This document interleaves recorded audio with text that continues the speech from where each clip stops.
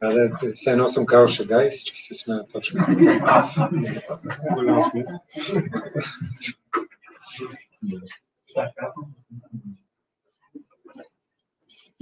Okay, so okay, hi everyone. Officially, uh, welcome to Beer JS uh, June 21, 20, 2021 edition. Uh, today, I'm going to talk about technical interviewing. So this is actually a very non-technical presentation. I recently, kind of almost a year ago now, became a, an engineering manager. So I don't feel confident talking about code anymore. I don't understand anything. I'm just a manager. Uh, so yeah, okay. Uh, so okay, that's the internet not cooperating. Okay, here we go. Uh, searching for a new job. The only reason for a developer to ever shave, uh, as we know. So I guess you all, some of you are searching for jobs. That that's good to hear. Uh, well, you're getting something out of it. But this presentation and about me, I'm uh, Mishu, Mikhail, Michael, whatever. Uh, and I am currently an engineering manager at SumUp. I uh, enjoy a lot of sci-fi stuff, so I'm like a nerd. I'm a board game geek. I own like 200 board games at home, play regularly, and I like to juggle and do some other weird stuff. I've never watched a football match in like five years or 10 years. So I, yeah. Anyway, uh, so this talk is not about how to search for a job. It's not about how to attract candidates if you're a company, and it's definitely not about how not about how to negotiate your salary. This is a huge topic. Unfortunately, it has nothing to do with your technical skills. So you have to maybe practice a little bit, like you know, playing some interesting auction games. Uh, so, okay, so we're going to focus on the middle part of the interview process. So, if the process starts with engagement, is the candidate interested? Is the company interested? Is there an organizational fit between the two? We move into screening. Uh, and this should probably happen automatically as much as possible. Then we have the face-to-face interviews, which actually determine whether the candidate should uh, be offered a position, and then we move into the salary negotiation point. Um, so obviously there is no one specific way to structure this process and it depends on many factors including these i've listed like company size the maturity of the team the time to market and maybe the most important the culture of the company i mean it depends on how big it is, how it's disposed towards people, whether it's who wants to hire junior people and grow them or hire senior people and you know think that they'll do something magical about stuff. Uh, yeah, and there are many types of interviews, and these are the ones I'm gonna kind of talk about today. Uh, something we call system design. Uh, then there's the type of depth of expertise we have the coding interview, we have a bar raiser, and we have a wash up, and it's uh, with an asterisk because it's not technically an interview. So the candidate is not there. This happens at the end of the process uh, when everybody that's interviewed the candidate gathers and you know compares notes and talks about whether the candidate passed or not. And there are many ways to conduct each of these types of interviews. So you could give a candidate test, you can have a whiteboard interview, you can do pair coding, uh, or you can give them a homework assignment. And we'll see how the types of interviews mix and match with the ways you can, you know, uh, lead them. Uh, but whatever type of interview you're doing, and I don't know how many of, of the people in the room actually go are either lead interviews or participate in, in the interview process in some form or fashion? Three, three people? Yeah, that's okay. Okay. And you guys lead interviews or? Yeah, okay. Just Nice. Okay, but you've all been to an interview, right? You've all been, at least I hope so, or you know, you came randomly. Uh, okay, whatever. All the interviews are about one thing, and that's evidence, right? Uh, evidence meaning uh, things we, we are searching for signals or data points about the skills and abilities of the candidate. This can be about their technical uh, skills, their, their problem solving abilities, uh, the way they collaborate, the way they uh, prioritize and assess the complexity of the problem, how they structure their solution. These are all signals or data points that we can collect during an interview. And there are two types of evidence. Obviously, there's bad evidence and there's good evidence. And I've listed some examples here. So uh, at the end of the interview, if I say, I like how the candidate thinks, that's bullshit, that's meaningless, that's useless right? Uh, the candidate has a good understanding of the subject. Thanks, uh, Dr. Obvious. Uh, the candidate solved the problem well. Um, what did he do specifically, right? So the, the underlying qualifiers are not do not carry actual information. They don't tell you anything about what the candidate actually did, right? So we want to write the evidence after we did do an interview or take notes during the interview in a way that allows us to capture the actual performance of the candidate during the interview. So we can say the candidate broke out broke down the problem into XYZ specific subproblems. They suggested using a technology to solve that specific problem, right? Uh, they identified some additional concerns uh, proactively, and they explained clearly how a specific technology actually solves that specific subproblem right? So we can write these things down, and now we painted the picture so anybody coming in reading that kind of these notes can make an assessment mm, that that seems like a good a good thing, right? A good indication of ability. Uh, so good interviewers are like detectives; they're looking for evidence, and the corollary of that is that good candidates are like sloppy criminals. They want to leave as much evidence as possible behind, right? They want to be uh, very kind of, if they were criminals, they want to, you know, leave their fingerprints all over the place.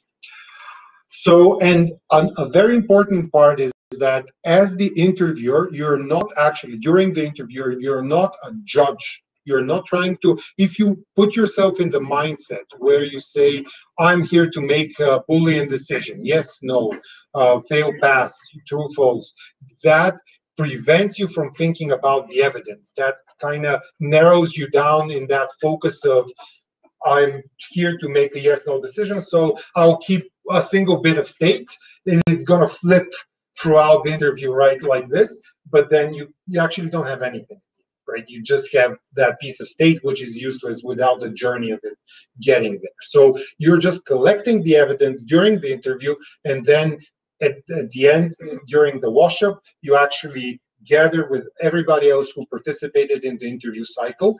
And here, it's a good maybe place to say that uh, my experience is that the more people, I mean, the more to a certain limit, obviously, that participate in a, in an interview or a series of interviews with a candidate, the better. I mean, if you have just one person interviewing another person, they could as well just you know keep that boolean measure right? They don't need that much evidence. But usually you would have one two three people interviewing a candidate in different sessions using different techniques complementary hopefully so that at the end they would make the best decision possible about that candidate. Uh, and the interviewer, you're actually responsible for enabling the candidate to present their best. It's it's a popular trap for a young interviewers to go into an interview and say, "Oh, I have that very nasty problem that if I give it to them and they'll like start thinking in the wrong direction and I'll get them and they would fail." Right?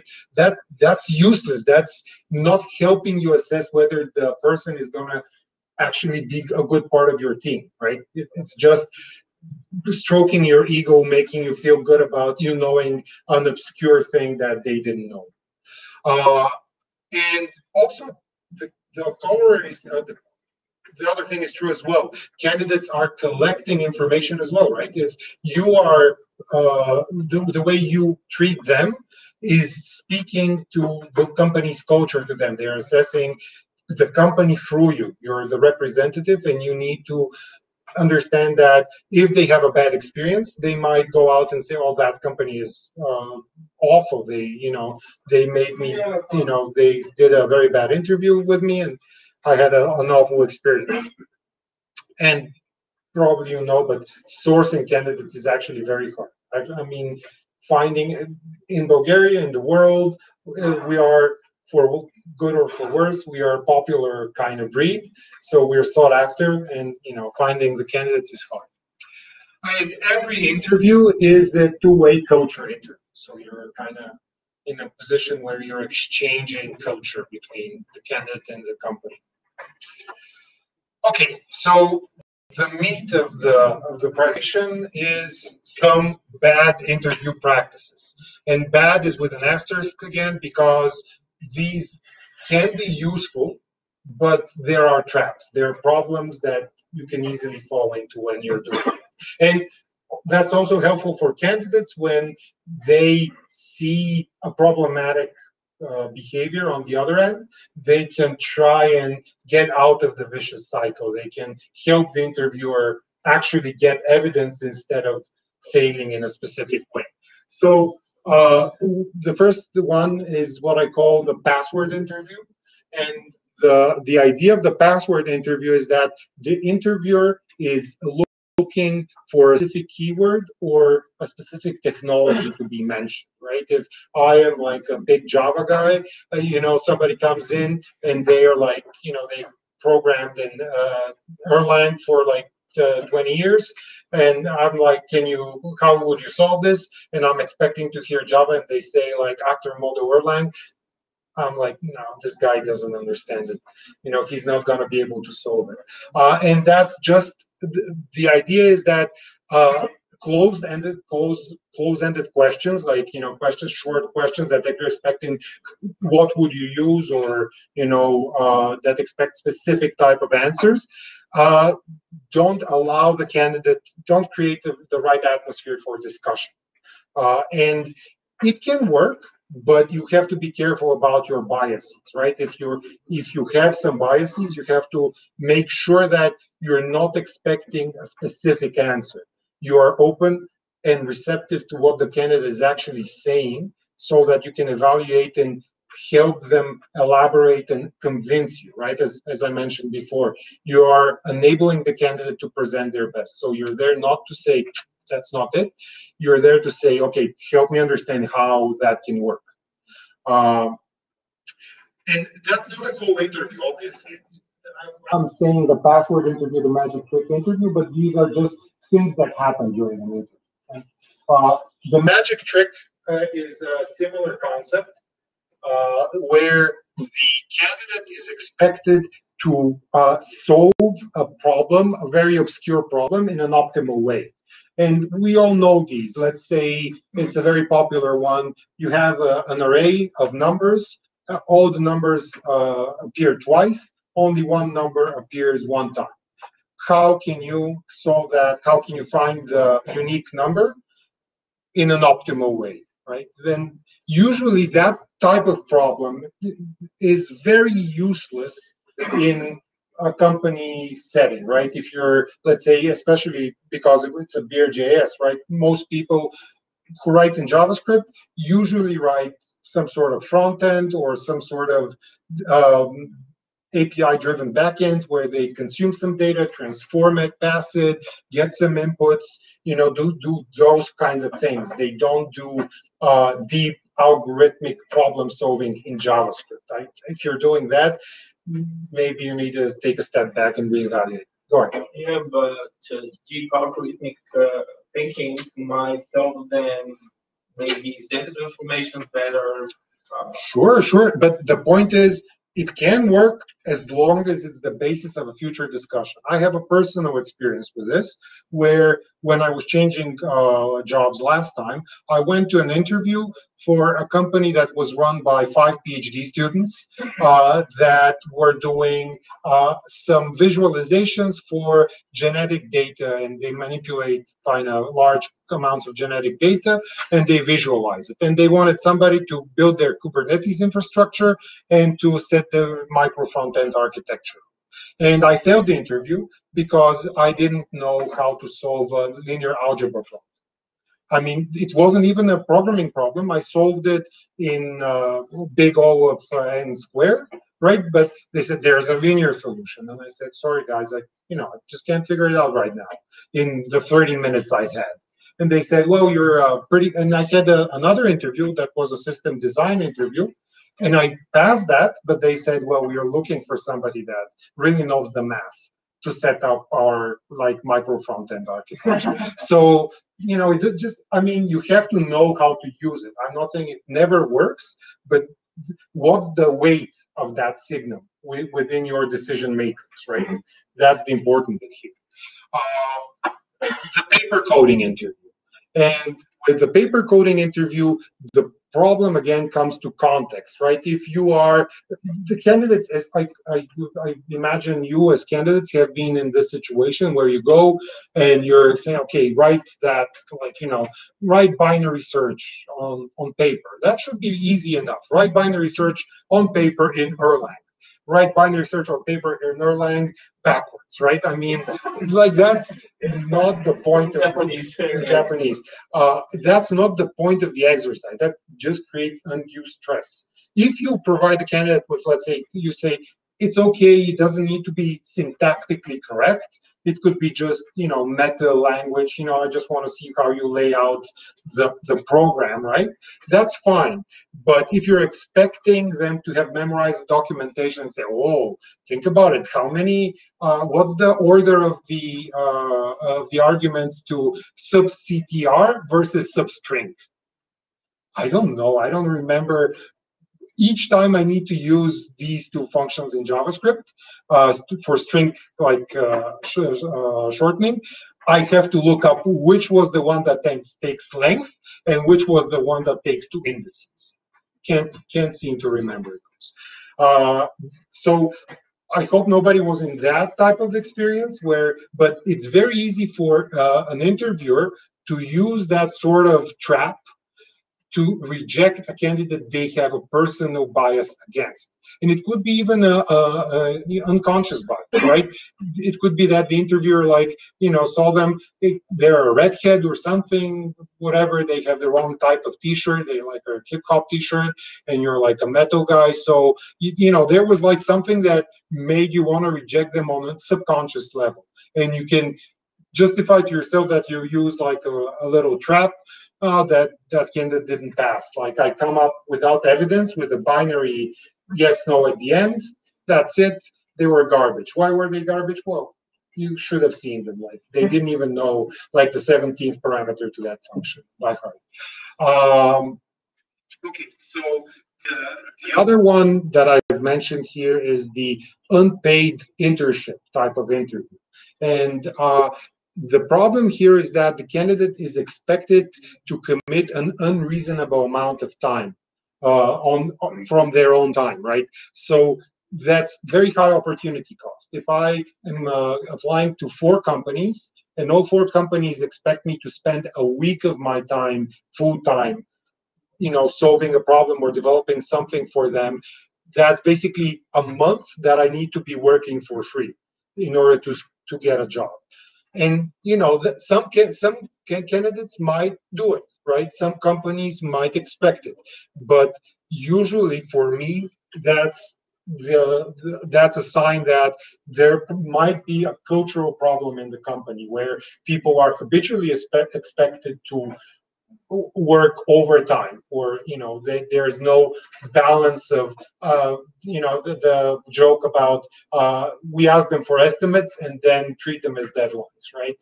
Uh, that's that's a very bad kind of idea here. Uh, so this type of thing giving somebody homework is very useful but it should be definitely scoped time boxed and if not it should be compensated right? You can go in, say, okay, we'll pay you, we'll basically hire you as an intern or like as a contractor for a week. You will not get like the maximum salary, but there should be some appreciation of the candidate's time, you know, because the, well, it's the same if you take one from us to interview them. Uh, why do you think that spending time on interviews should be compensated by the company? Well, if I interview and they spend but two that's, three hours with you, uh, should we both be compensated to it? That's mutual time. Here I'm talking about uh, a, a take-home type of assignment, right? where I you you send me a PDF with some like you know with an uh, with a thing that I you know I can I should develop at home, and the thing is so big and I should deploy it like in production and it should look beautiful. It should like be microservice architecture. It should have like all of these things that take time and effort to build, which is going to first be thrown away because it's not a production actual actual issue that you're solving for the company. You're solving a baby problem, but you're using a bazooka to do it. And then you're asked to do a, a lot of work you know for free basically so during an interview one two three four hours that's perfectly normal for both parties to agree to to spend together and that's a mutual investment but when the investment is i, I send you a document and i can send it to a thousand people and Yeah. all of them This investment is not written by itself. It's written by some guy that maybe spent week, two, or month, or two to make the document be great. Sure, but they, but he was compensated during that time, right? Somebody paid him to do that document. Some the the the document is going to be sent out to a bunch of people, and the cost of that document is going to get you know uh, amortized over the period of time, over the period of people. Well, it should be updated. You, you know, you cannot uh, just make PDF in 2001 and use it 20 years later. Sure, of course, but again, I mean, it's it's again, it's maybe we have a cultural difference, and that's Yeah, okay. Yeah, a bit because it's it's again, if you're sending somebody a homework assignment and it's like you can do it reasonably well in a day or two, that's fine. You don't need to compensate them. But if you're expecting them to do unreasonable time, right, to invest unreasonable time and effort, and that's where it's fuzzy, right? It's never like you know just black and white. It's about asking the candidate maybe hey are you comfortable does that seem like a reasonable amount of work right and I, for example, have received assignments and I look at them and like, which of these do you want me to do? Right? Like, what should I focus on? What's the thing that you actually want to see? Right? And then we have a conversation about the, you know, downscoping that problem. But not all candidates feel they have, and that's a slide I have about you know advice for candidates not all candidates feel they have that leverage that they can negotiate you know uh that seems like too much work right and it it seems like it sounds bad but it's actually a good thing to me that's a signal that the candidate understands time management and priorities right and that's an important thing There is another question from the Go ahead. viewers. Uh, do you think there should be a similar payment of- for contest? Yeah, yeah, I'm talking about home tasks usually here in the, in the context of this line. yeah. But, but again, it should be paid after a certain, if the task is big enough, right? If the task takes a day to do it, four hours or six hours, that's a reasonable amount of investment to ask the candidate to show that they're interested in the position. But if it takes a week, then it's too much. What is to because if you like to uh, not overtime, maybe you will do it. I- I think if you do it two hours a day, will take you a week. Sure, sure. I mean, reasonable time is like, I mean, if you can do it in a couple of hours to like sixteen work hours, whatever that Okay, that- means, that- that, that's okay, right? It, it just, and uh, again, I'm stressing the, the main word that's underlined here is unreasonable, the right? reasonable amount of time is the the same bad as you're talking No, no, it's, it's a, it's a handshake between the, the interviewer or the company and the candidate. So if they are both agree that it's a reasonable amount of time, then it's reasonable.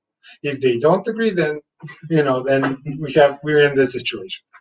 Uh, okay, so another problem that we see is kind of the rock star interview. Uh, and the idea here is that the can yeah, the stallions. Yeah, they're magnificent.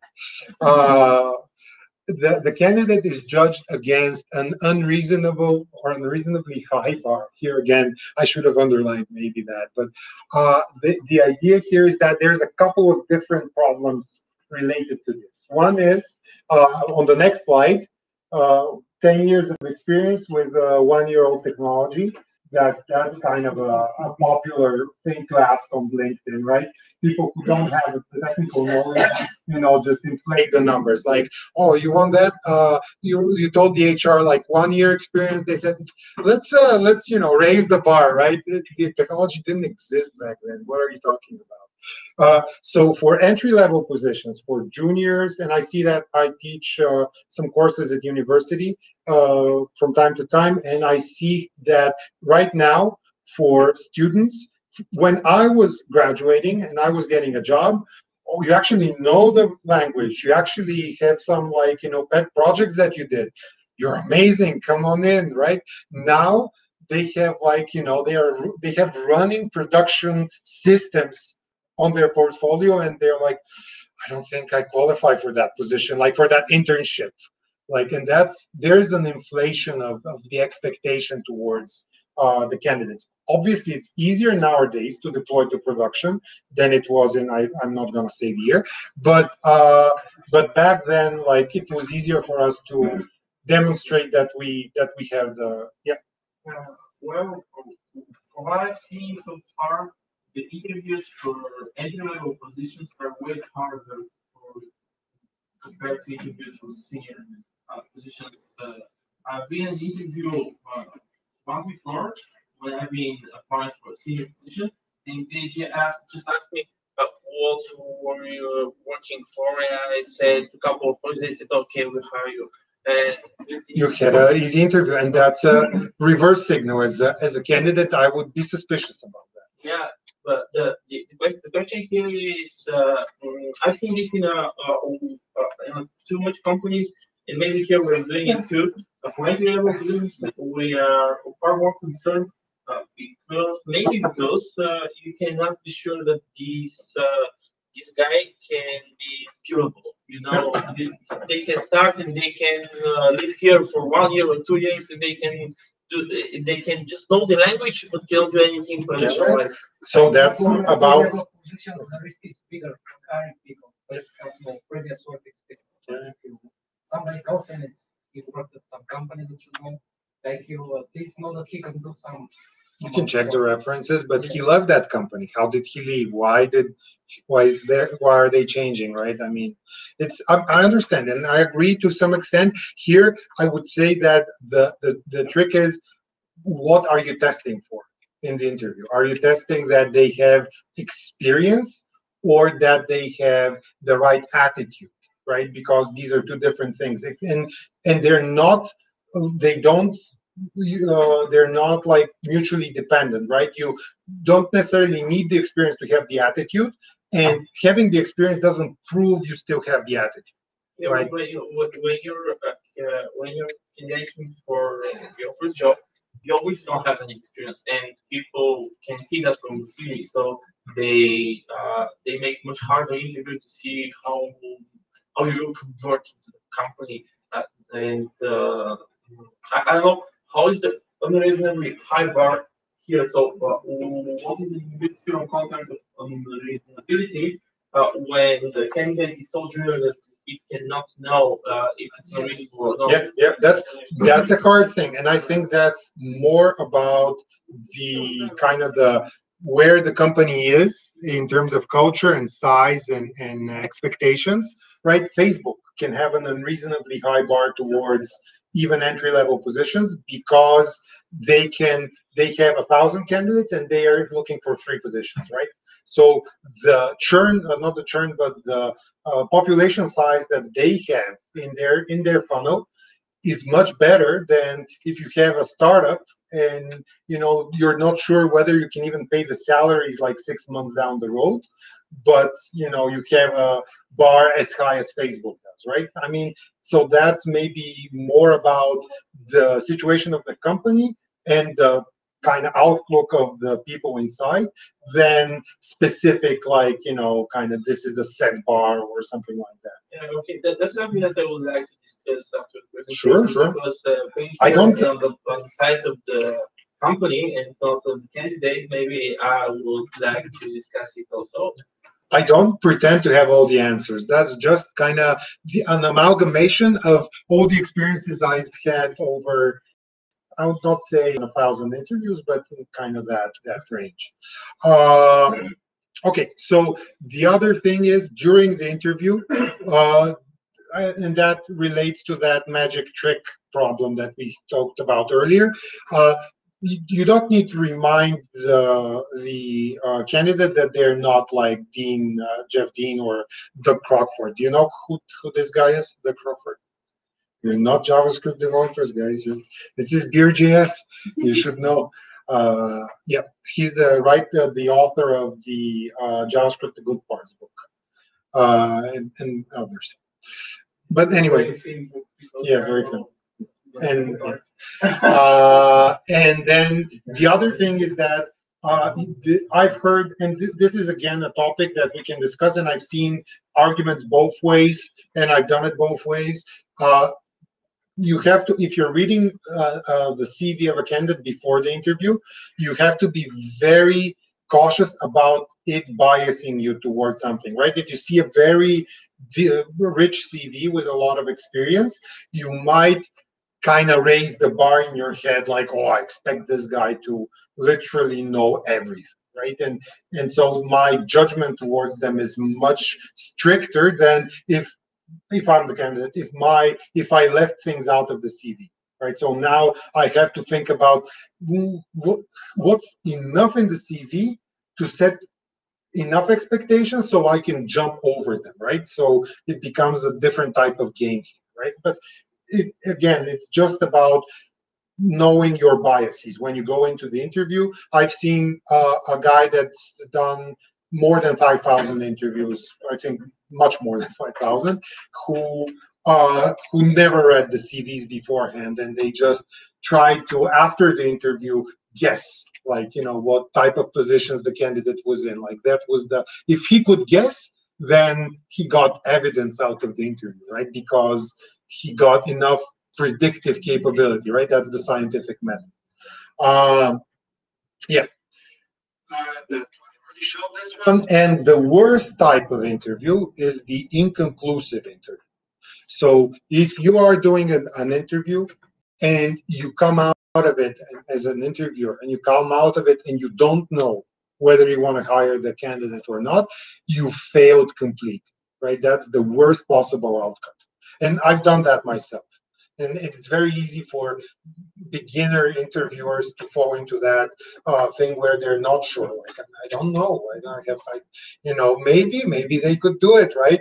It's it's up to you when you're in that room to help the candidate convince you that they can do it, right? If they cannot do it, they'll convince you they cannot do it, right? But it's up to you to extract that evidence out of the candidate right? If you if you're like trying to be too polite, right? There's also a, a kind of a balance here between being too polite and actually not getting what you want out of the thing. So if we're too polite and we just stare at each other like like that, we come out and well, he was very polite. We mentioned the weather in the beginning, and then nothing, right? And and that that doesn't work.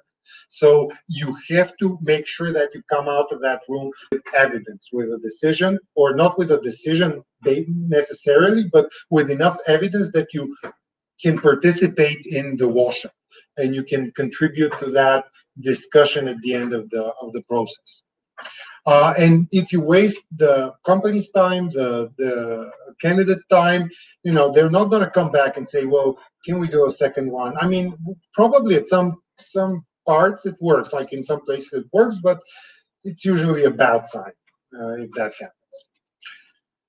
Okay so uh, that was kind of the, the part about uh, the problematic types of interviews and maybe i should switch those but now we get into the process of the interviewing right? How we structure the the pipeline basically the funnel of the interviews. So usually we start with screening, and screening is something that uh, front loading interviews, and this is something that is usually applied when there is a lot of candidates in your pipeline, right? If you're getting one candidate a month, you don't need to screen them. You can basically go in a face-to-face interview directly. You don't need to send them an automated thing, right? If you're getting a thousand candidates a day, you cannot interview them all. You need to screen, right? So it's again about applying it. I've seen companies that don't get any. I mean, we've been a company uh, that, that gets one candidate a month literally, and we spend more time on developing the screening test than we would have spent on interviewing the people directly, right? So, and and you're not guaranteed because these screenings do not actually give you a never give you a positive signal. They don't tell you whether the candidate is actually going to be fit in your company. They only tell you when they're not going to fit, right? So you're just negatively screening. You're never positively screening uh, in, in this automated way. Uh, okay, so one way to do it is automated tests. So you, you send them something like HackerRank or something like that, and they uh, fill it in. Uh, it could be code, it could be just like ABC, it doesn't matter. They solve that and great, you, you have a filter. And that filter should be the first line of defense and should filter out the, the weakest candidates. And as I said, it's not actually, doesn't provide any evidence about suitability, whether the candidate actually is suitable for the position. Uh, the homework assignments, we have already had a little bit of a discussion about it. Uh, it's a great tool, uh, and it's a great if you actually take time to review the candidate's code. And as a candidate, it also shows a lot of the company's culture when you receive feedback on your kind of project in GitHub in the same way that people in the company do it towards each other, right? If I get a code review, I participate not I'm not only writing a code and giving evidence one way, just giving some piece of code that I've written. I'm also participating in the follow-up process of participating in a code review. How well do I take criticism? If somebody is trying to bully me and tell me something false during the uh, during the code review, do I kind of say, yeah, of course, sorry, I made a mistake, or I say, no, that's actually the way it should be done because I know that, right? And you stand your ground because you have like the facts on your side, right? That's a very good technique to measure the the the personality of the candidate, right? Whether they uh, always agree with authority or they can question and assert their technical ability, right? Because you don't want something, you, you don't want somebody that, or maybe you do, but usually you wouldn't want somebody that just is a yes man and and does whatever you tell them whether or not you're right or not right you hire people in order for them to you know give you ideas and help you fix your own misconceptions and problems so if you so it should not be fully automated read the code give feedback make that a thing, right? Uh, you get an early insight into the craft, the way that people work. Do are they linting, right? Uh, are they uh, applying some uh, some other tools to make like static code analysis? Uh, how are they presenting their deliverables? Are they did they package it? Is it runnable in Docker? Uh, is does it have documentation? you know how well how easy is it to run it you know all of these things are signals about how the candidate actually would do their job later on uh, and the other thing very important is whenever you give them a homework assignment i would underscope it so i would make it smaller and then kind of incentivize them to add something from themselves right? To be creative to expand on the the problem that they're solving in some way. From my experience, when you see a candidate do something for homework assignment, you should expect them that they will uh, do it max what they did on the interview. They're uh, usually uh, one way the one after being hired. Yeah, they, they try to present their best during the interview, but they cannot keep it uh, every day, eight hours a day. Uh, sometimes I don't know. I mean, I haven't had that, that like I don't have the data. Uh, okay, so uh, then we come to the Sorry? Okay, thought. So we have to the system design interview, and and that's that's uh, one of my favorite types of interviews. Uh, the idea here is that you ask the candidate a very open-ended question like, "How would you build and deploy a social media?" site?" Right, and here you're not looking for them to start writing code. They should just, you know, uh, and you have a script in the best scenario. You have a script about different possibilities that you present them, right? So you say, okay, uh, they start like I'll deploy to Kubernetes and whatever. Uh, you have one week and you're working alone. Oh, okay, then I'll write it in PHP and I'll deploy it on like you know so whatever like superposting. Yeah. So uh, how do they react to the changing requirements, to the changing environment? How do they budget? Do they think about completeness? Do they budget their time?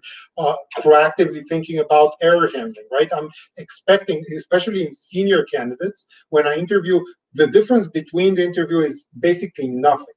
Uh, between junior, not junior, but mid-level and senior.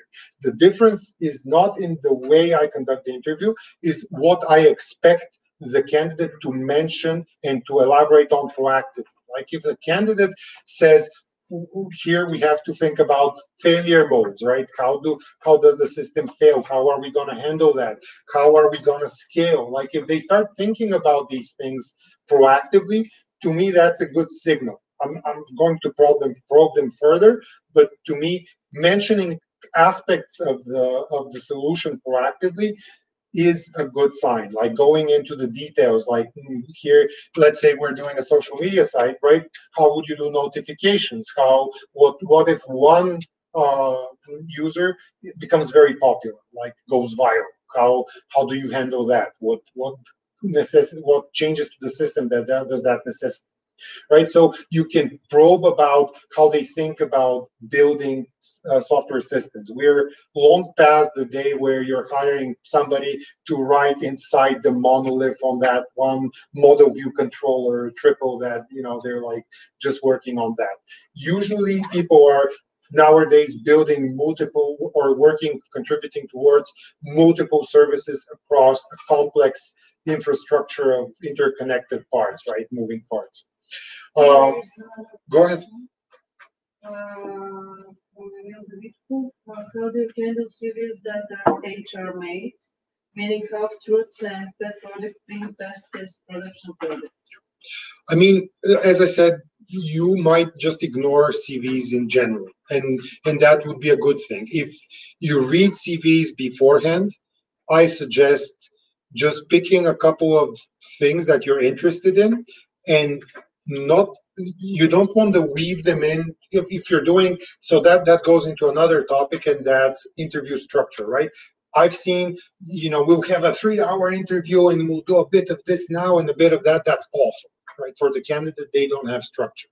You have to have managed sessions with breaks between them right? If we do uh, 45 minutes of system design take a 15 minute break and you uh, you warn the candidate. Next, you're going to uh, depth of expertise uh, type of interview, uh, where we're going to talk about that next.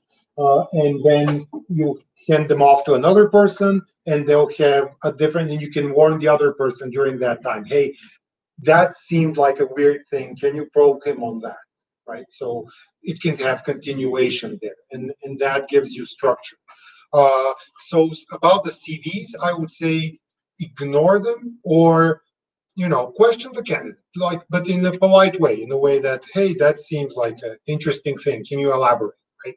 So uh, when i come in a bit to, to depth of expertise that's where previous experiences yeah go ahead. But before the interview, maybe the recruiter uh, sees the CV, sees these projects and gives back questions before. Of course, yes, yes. That, that's that's uh, that's part of the screening as well. Yeah, that's even part of the engagement kind of portion of of uh, the process where the recruiter on their own, especially a very knowledgeable recruiter, can kind of screen out a lot of candidates before they even hit your automated test. Um, okay, so yeah, so system design helps you understand whether the candidate not only can build a system or, or knows how to build a system, but whether they can be in a team lead position, right? Whether they can manage a team, they do they know how to budget people uh, and resources and think about like a, a larger kind of organizational level. Uh, the caveat here is that this type of interview only confirms that somebody knows how to build a system. It doesn't confirm that they actually can build it, right? So they they know in theory. In theory, I know how to get to the moon. I just need to jump real high, right? And I'll be there. But in practice, I haven't done it yet. Uh, so so that's a, a thing to you know you get out of the interview. This guy's gonna solve all our problems. He knows how to do it, right? And then you hire them, and they're like, yeah, we'll need like 15 architects here to work under me so they can implement my grand vision, right? That's useless. Um, yeah. Okay. So in, in this type of interviews, obviously whiteboarding is a great tool where you allow the candidate to just you know, draw system uh, designs uh, like diagrams. You can even talk about the types of diagrams they're using, and that's more information, more evidence for you. Okay, uh, the depth of expertise, and here's where questioning the CV comes in, right? So we discussed previous projects. Uh, the idea of this kind of format is to discover the limits of the candidate's knowledge and experience. So the idea is like if they're like, okay, push them, push them further and further. Like, okay, but how does that work? How does that work? Like, you know, what? How does? Why does the register of the processor like, you know, does that? When, is it cached? Right? You know, you can go down and up in the level of abstraction, trying to just feel out where the where the candidate says I don't know. Do they try to lie? Do they try to bullshit? Do they confess like you know they do they know their own limitations right? Uh, you encourage the candidate to do self-evaluation on the projects. Could you have done it better? Why did the project would you consider it a success or a failure? Do you have any failures that you want to share right? I mean because that's uh it's easy to say oh everything on my cv is a success right? But that's not true obviously. I, I mean nobody like if we if it was like that we'd all be billionaires and like you know that we never made a mistake in our career. That's that's bullshit. So obviously you know if the candidate here is it's that you're judging their not judging but collecting evidence about their attitude uh, the way they think about leadership whether they can do it or at least accept it in, in a specific way and how they judge impact right? Uh, do they measure yeah i've had that conversation with a guy uh, at one point where like, well, do you are you happy with the work you're doing? And he said, yeah, I wrote like uh, a million lines of code in that period. And did we deploy anything? Well, no, the users were stupid. And I'm like, yep, you're great, uh, very senior. Um, so th that idea of like how do we measure our successes right? You can and and talking about previous projects and talking about experience that all can be done in this sort of session. But again it's not like a lot of people do this but they don't focus right? A lot of times you you go to a company they do a little bit of that a little bit of this. When you have a focused interview where you, when you prepare in advance your kind of ideas what are we what are we focusing on what evidence are we trying to collect in this specific session then when you come to the end when you come to uh, the bar raiser and the wash up i'll skip for i'm just going to talk about the wash up when you come to the wash up then it's easy to actually take a decision because you all of you've collected different types of evidence. Some of it overlaps some of it like clashes and and then you have that aggregation and you're talking about, you know, whether we actually want to hire this person or not, right? Do you think it's a good idea to uh, invite some person from the company that's not involved with the candidate, maybe more junior than them? You might. I don't. I mean, I haven't. We haven't done that. As far as I know, I haven't been on a wash up where somebody's completely clueless. But maybe maybe it could work. I mean, it, it's it's okay, and I don't have slides about this, but I'll talk about it a little bit afterwards uh, about how you actually train interviewers. uh, and that may be part of that process. Uh, we call that shadow, right? If you when you shadow, you can shadow. You usually shadow uh, throughout the cycle, right? So you start with uh, shadowing means like I just go in the interview and I just listen and I take notes both about the candidate and about the interviewer, right? So I kind of am trying to do, you know to think about both sides of the of the equation, and then you start after a couple of times shadowing. You start reverse shadowing, which is you lead the interview, but you have an experienced person with you just you know monitoring your performance helping a little bit sometimes even on slack you know i just had that dude, cut him off. He's like rambling now. Like, just you have to cut him off because he's not helping himself right now. He's just talking and you're not getting anything out of it. And I'm too polite to cut him off. So that was very good advice to say, thanks, that's great, let's move on, right? And, it, and it's fine in the interview. It's fine for the interviewer to say, you know, let's move to another topic, right? That's perfectly all right. Uh, so yeah, and then after reverse shadowing, you you're pretty much ready to start interviewing on your own and then getting somebody to shadow you and the cycle continues. Um, yeah so the the wash up is where people talk about the candidate and make that decision. Before the wash up uh, there is sometimes that idea usually in larger companies that idea of a bar raiser.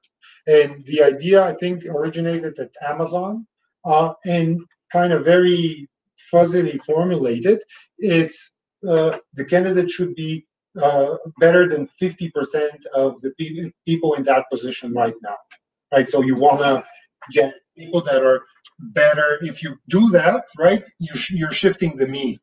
If you imagine a distribution of skill like in the population, you're shifting where the mean is, right? You're making the can oh every candidate is better. Now we're climbing that of course, obviously, you cannot do 100% like skill, but that's a different question. But it, that's why it's fuzzy, right? But that's the idea that it's a short interview. It's a way, and it happens after all the other interviews, and it's done by a very senior person who has a, a large view over a big part of the organization. Let's say uh, a tribe lead or uh, you know, some VP of engineering or something like that, like depending on the type of, you know, the type of organization you're having, like department head, something like that. So they go in, or if it's a small company, maybe the CTO goes into like, you know, a final session with candidates, right? And sometimes you have very strong red flags at, at one point of the interview process. And if you find some very, very strong red flags, you don't need to continue that, right? I mean, you can drop a candidate after the first interview and say, okay, we have enough evidence that this candidate shouldn't continue on with the process. You don't need to run the, the candidate through the entire pipeline and, and waste the CTO's time just, you know, to go through the motions. Uh, okay, that's it.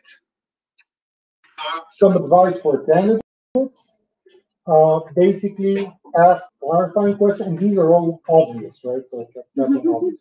Uh, explain your thought process, demonstrate contextual knowledge. So if you're talking about something, you know, bring up that, ah, that sounds, you know, or that's similar to that thing.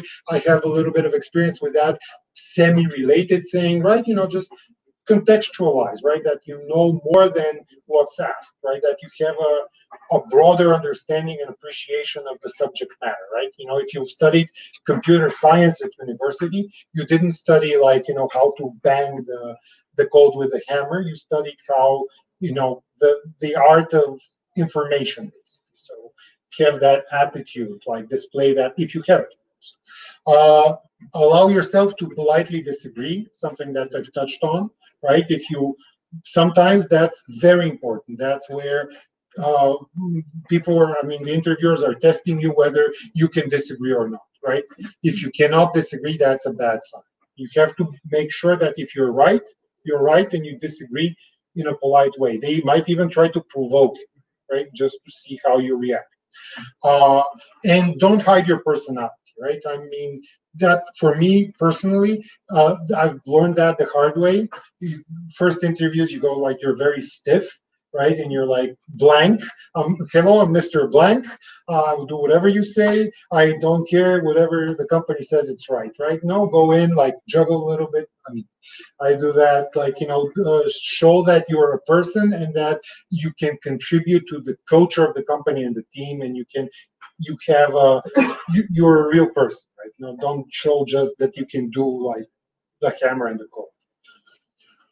Uh, okay, so just to reiterate real quick, good interviewers are like detectives, they're looking for evidence. Good candidates are like sloppy criminals, they leave a lot of evidence behind. And as an interviewer, you're not a judge, you're just collecting the evidence. That's it.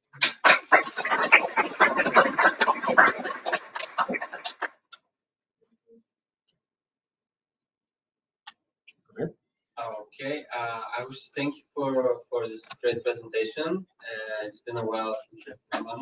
and It's a great one. Um, He's now hiding his personality. yeah, I- that's, that's. Um, um, I was, I was wondering about those mixed interviews where, where you, where you choose to, to use several of your employees for, for those interviews, and you can, uh, to what extent can you, can you go with this? So, like, there was a question about, can you, can you use shadowing someone who's more junior than the, the hiree? Or, well, can you tell us more about this, Yeah. this, this thing? Yeah, I mean, there's two questions, like, uh, there is the question of having many people in the room and how the candidate feels about just, you know, facing a group instead of Yeah, and then there's the question about if there are a couple of people, are they asking different questions? And are they asking them in a way that prevents the candidate from continuing their line of thought? Are they forcing the candidate to context switch? I would say if you, if you kind of give a warning in advance to the candidate, hey, by the way, don't worry, we're gonna be like this, this, this, this guy in the interview uh, that's fine. That's, I mean, the, if the candidate has a problem, they'll say, hey, I'm, you know, shy or something. And you say, don't worry about it. You have to work in a team anyway, right? I mean, if you're hiring somebody to work in the basement, like John, the guy that with the ponytail, like, you know, you have one box here, walk a kilometer in the data center, another box here.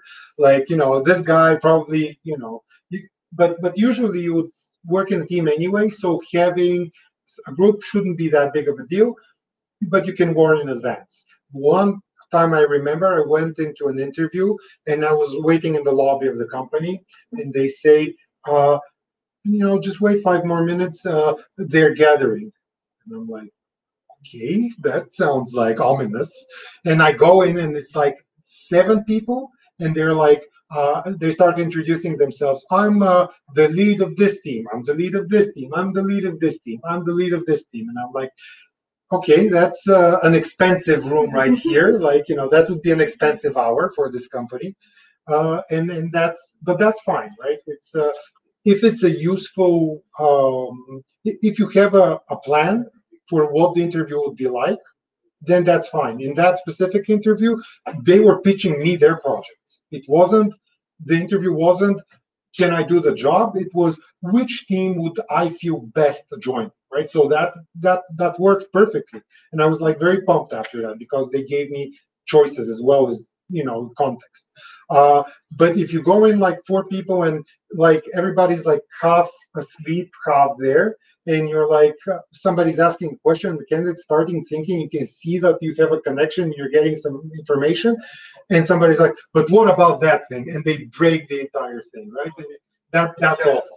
Yeah, it shatters. So if you manage the context, if you plan, if you have a good kind of dynamic dynamic within the group of interviewers, it's perfectly fine to have more people interview. But it's hard, maybe harder. Question from the chat from uh, time machine. So what would it mean if the job interview is too easy? Sorry, too easy. It's too easy. Um, well, it can mean a lot of things. I mean, sometimes life is easy. Sometimes it's hard. It's not every day you break your leg, and it's not every day you find like a bag of money. So I mean, you have to. I would question it. I would try to, as a candidate, I would try to um, to find out why that happened. Whether it's because the bar at the company is low, whether it's because they have ev- enough evidence from other places let's say the work the homework assignment like if you know somebody is good if you've collected enough evidence and the whole team is convinced you don't need to gruel them like for five hours right you can you can have a quick session just confirming certain things right you can you know it and then it could be easy but if there, there was no homework as you said like you go in you've never seen the people and they're like you work there you're good to go right i mean that that that's maybe a bad signal about what other people would there be in that team right how if if they didn't like you're perfect obviously Okay. No, but the question is- I'm perfect. I'm- I'm good at this yeah situation. you're I'm, I'm I'm the obviously, yeah i'm the best obviously but they, they always hire the best, right? So, ah, like, are the rest is the best as me as I, right? So it, it becomes that you have to question if they have a low bar, whether you you want to even go there because it might be like uh, in Bulgarian, like just people collected random people like that again from Silicon Valley, like you know Gilfoyle you know, gathered the team of like the water lady, uh, the cleaner, Yeah. yeah, and there's big kids, so yeah. Uh, as here being the a relatively small company, we doesn't have, uh, lead of that, lead of that, lead of that. But still trying to do that with uh, more people making interview, getting their own, uh, minds and making the final decision easy for making the wash up. Uh, but how do you train that people to be on the same page and not doing that uh, in the middle of the interview? Let's do it that way. How how do you achieve that? hard it's hard it uh, it's uh you not everybody should like i mean first you find people that want to do interviews then you actually explain them what doing interviews means right? And you kind of should have a, a kind a training session. I don't know how long. I've participated in a bunch of different kind of uh, just uh, we we ran through scenarios interviewing each other. Like i think it was a two day workshop uh, with kind of very professional guidance, right? I mean, some people from the company, but they had a bunch of experience and they've prepared like these Gather. structures. Yeah, these structures that right now I'm telling you about them. They're not the only possible structures, obviously, and you're free to invent your own, but that invention costs effort and you know uh, trial and error as well. So, so I mean, you occasionally, even from the best interview kind of team, you, you get some flukes where the interview didn't go well because it's a it's a personal thing. It's like theater, you know. It's some sometimes you go on stage or you go you see, you see the the the, the guy and he's like he's a good actor usually, but this time he was like you know wasn't doing. It. So there is this. It's a performance. So yeah, there's always something kind of special, like a special sauce to it. And about easy interviews, if you are the company, then you have to also question yourself, like to go back to that question. If you, as a company, like, you, the company goes out after like uh, 20 minutes and like they're like, I nailed it so hard. Like you have to see whether you need to adjust something, like whether the question was leaked, right? Let's say uh, they've done that. Like you, you, have these situations where I go to a, I went to a system design problem interview and they asked me and I said, I've done this one. Are you sure you want to, you, don't want to give me another one because I've done that specific one before. I've had time to think about Why it. should we inform them about that? Well, because, I've been inter- uh, the three consecutive interviews with the same same problem. Yeah. With a stake where you have to find some brackets and you have to find if the brackets are balanced. And this is very popular. The last year was very Yeah. popular in the United States. Yeah, but you, you go on interviews to find the quality job. You're not going just to find an arbitrary job. Yeah, yeah, but if you have solved the problem yesterday, then they ask you the same question that the other company asked you, then this is some, It's, there- there's something For, wrong. if it's, if it's, uh, if it's the, the direct problem, I mean, here, here I specifically said system design interview, where you're asked, how would you build an X type of system, right? Uh, if it's a specific problem like, you know, the one with the array and you have to find the unique number if all the others are duplicates, then, you know, you just give them the, the optimal answer that you memorized and that's fine. But the the for me it's a bad signal as a candidate that they, they even ask me that sort of question as a senior let's say if i'm applying for a senior role right that's not that's not the type of question Yeah, i'd expect Senior, you're expected to know how to design that system. It was like if you ask me how to design a CMS for a forum or a database, like. Uh, on, on, uh, but a system design interview is based mainly on scalability. Uh, you know, how this system will perform in production, how would you do it in uh, a restricted amount of time and money and team. Uh, it's not about, uh, I will do a database, I will do a framework that uh, makes queries, and then I will just split some JSONs to the front end. And maybe if I'm front end guy, I will just consume the JSONs and run some tables. You know, it's not. uh, you're It's not how, uh, what, you see from the candidate when you uh, ask them, uh, design me a CMS system. If you want them to think about usability, scalability, uh, mainly performance and scalability, uh, and. uh, You can focus it in different ways. uh, CMS system, uh, there is some cache uh, uh, elsewhere, and if you know that point from a uh, interview before that, uh, it, it will Constraints to work for full experience, but it- it's, it's Uh, possible. I also want to add uh, about the interview was too easy. It's a perception which is subjective by the personality, which means that he may totally failed. yeah yeah, yeah definitely yeah. you can come out of the interview thinking it was very easy and the other side is like this now.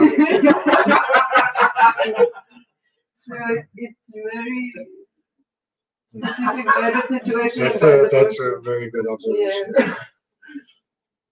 Do you have any other questions? I was wondering, uh, for example, if there is a company that makes profit only by candidates. You know, they, they're doing some work, some tasks, and they sell them, you know? probably right? probably Uh, may- may- Maybe, but it's hard, Uh, you, you, you know, uh, we're working side by side with Gary, last question, uh, it was a part from our, uh, list of the internship program. Uh, and, uh, maybe he best knows that even if you have three or four or six months of internship and you are assigned to this project is not even possible to be around from the green button uh, and what said about being built to external clients. There is a task. Can you outsource the, the, the hiring process? So can you make profit by, can you have a company that only does that? You don't make software, you don't do shit, you just, There's a you just, uh, you just, uh, make the interviews. Is this possible? The Yes. hiring process is very uh, related to the culture of the company. If you want to hire to people, uh, to hire people who will relate to the culture of the company and to keep it the culture, you should hire it by yourself. You cannot outsource it just That's- because they will that's- hire people who like, they like, not you. but you can definitely have a company that The company consults. that consults an interview, like if, you know, I can, I can charge money for, you know, you guys decide you want me to help you build your interviewing thing. We can have, a I can get some money out of that potentially, right? I don't think I will, but the, it, it's, it's a possibility. Definitely, it's, it's a rich space and there is knowledge to be shared and I'm happy to kind of share my little bit of experience with Yeah, that. that's, that's good. Uh, Just, just a little bit of a note, that's what I'm doing sometimes, just making interviews for other companies and they pay. It's similar, so, no, it's, it's the same. Yeah, there's also some But they, they are, they are, they are making the contract interview. I don't do that. I, I can say my concerns, but they do the final say, so I, you have a candidate, candidate. If I had that power, well, I would be the happiest man in the world. You I want to ask something? So we should say, you know, springs recruit- recruitment, they're actually like screening candidates for companies and depending on their feedback to the companies. Yeah, that's, uh, that, you can do, HackerRank does this, right? If you do, if, if you go on HackerRank and you complete some things, they, you can use that as initial input towards like on positions. Such an interview and when I found out that I'm not being interviewed by the company, it was a bad sign for me. Yeah, like. If you weren't told in advance, definitely, like an arranged marriage. yeah. Yeah, so, so maybe there is a good sign if, uh, e- either a company uses the external provider as theirs and say they use our team, and they are okay with that, or they say this external team, you cannot just. But then the question is, why wouldn't you just outsource the work? I mean, if you're outsourcing the hiring, outsource the office space, you know, then Outsource the accounting. Yeah. you The basically, customer engagement. Deployment, delivery. yeah, exactly. exactly. Yeah, but you know, but for the candidates, it's not, uh, nice, like, for me, when I found out that I'm not interviewed by the person that. Uh, he pointed to in the presentation that it's good to be you during the interviews. It's better to be directly with the company which you're going to work for, just because it's not way of behaving yourself, after three or maybe six months, you say, I'm going to quit this company just because it sucks. Actually, the company doesn't suck, but you don't fit to the company. So it's better to see the people directly from the company, not to use outsourcing services to hire you uh, for the contract. But if it's a tool and you go in and you know that you're using this tool specifically and that you're taking one interview and that would become you fan out, right? It would become the input for like you actually applying to 10 companies, but skipping like the first step because you passed that specific interview and all the companies agreed that a good screening, right? Companies can share that screening and then enter you in their interview process based on that screening. So, go ahead. Yeah, uh, just. but you have to know that you're doing the shared screening and you're not like lied to, that you're just applying for one company. And that's okay. like when you said sharing, I, I was wondering what you know about, uh, uh, how companies share information about candidates with each other. Do they, do they share? Not, not, not as much. I found that it's, it's a market opportunity and there are a bunch of companies that do this. You, when you wanna, uh, wanna set the, the salaries, right? The salary bands, when you're hiring as a company, you have some salary bands. How much are you willing to back end candidate? And usually that's adjusted through market data, right? You adjust that based on some data. And usually what I've seen is that there are companies that sign an NDA with, with a a lot of other companies. They, They profile you and they, they send your profile. If one company has rejected you, maybe some other company has, uh, is allowed to see this, uh, your process, your interview process, maybe. no, no, I, I was thinking more about specifically about salary ranges that these, like a company, a consulting company collects a lot of information from different companies and then gives like a salary range for each of the companies, like outputs like a number. But, uh, they don't share the personal performance. No, they don't, they don't. Usually. And it's like GDPR It stuff. it sounds possible. Maybe, maybe. Yeah, but you, you can put references on some people if you're asked for and something that they work with. It's, um, it's not something common to just someone goes to interview you, and after the interview, you check them and put on Facebook your experience with that candidate, giving the name and something, and that, that, that's not good. I've seen- anyone would I've seen the, the thing that happened when, uh, the, when Skyscanner closed their office here. Uh, and they closed a bunch of offices and they laid out, uh, laid out a bunch of people because of uh, Corona and travel. And, um, the thing that happened is that on LinkedIn, they advertised the people going out, saying, They hey, has also made a website with, with the profiles of the people with links of their So, LinkedIn Most often, profiles. many, most It's not often okay. when, when a positive feedback is. concerned, but Yeah. Not usually when, not, not, not, not, yes, usually, but there are some exceptions. Uh, there is some, uh, some companies that do this screening. Uh, big companies use that, uh, when someone, uh, applies for a job in a big company, they use that also, also that work for company, screen that that, and they just start bringing to previous companies and uh, collecting uh, some uh, References, yeah. references. But that's that's like, that's like database. Yeah, uh, it's a database. They uh, then put their reference in their database. And after they're asking for another company, they, and they say, we have this, do you want us to bring again? the problem with the database of that sort is that first it's hard to get context out of it, right? How do you know, like, whether the boss like hated that guy and just wrote in the database some nasty shit that wasn't true? Uh, the other thing is that a negative data point is much heavier than a positive data. Human psychology. When you, when you hear something bad about somebody, We timeline. yes, So probably it is good to finish our live stream. And after that, stop the camera, stop. the- people didn't join us in person will really be jealous. Yes, okay, yeah, sure, Then sure. we miss the discussion. Uh, Okay, so everybody thank me, Mihail, for his great presentation mm-hmm. and very much.